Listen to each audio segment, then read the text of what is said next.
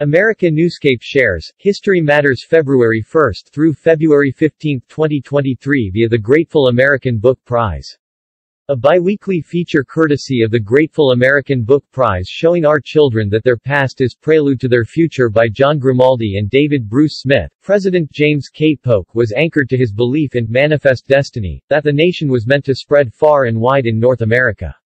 According to History.com, he sent his commanding general of the Army Zachary Taylor and his troops to claim territory along the Rio Grande River between the U.S. and Mexico. They skirmished in the Mexican-American War, signed the Treaty of Guadalupe Hidalgo on February 2, 1848, and annexed 525,000 miles with the eventual boost of Texas, California, Nevada, Utah, New Mexico, Arizona, parts of Colorado and Wyoming.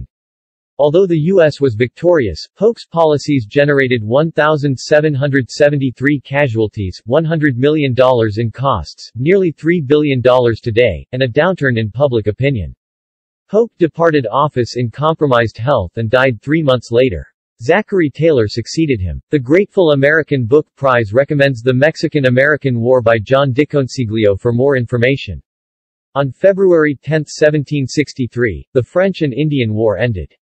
The Treaty of Paris terminated the hostilities, but the République was forced to cede virtually all of its North American territories, including Canada and Louisiana. The British scooped up Florida from Spain. According to History.com, the treaty ensured the colonial and maritime supremacy of Britain and strengthened the 13 American colonies by removing their European rivals to the north and the south.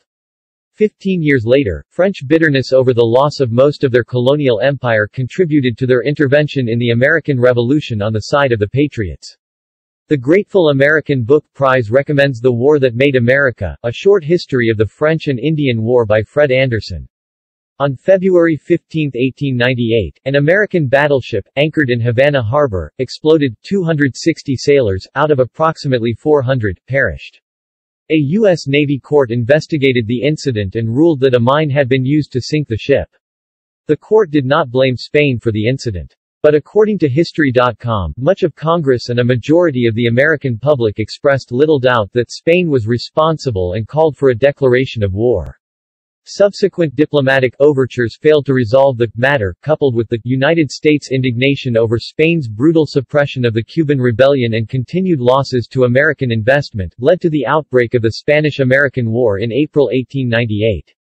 Four months later, an armistice was declared, and by the end of the year, a treaty was signed. The Grateful American Book Prize recommends Theodore Roosevelt's The Rough Riders. The 26th president fought in the Spanish-American War. Please visit facebook.com slash and please consider subscribing to this channel and visit their website grateful american book prize.com.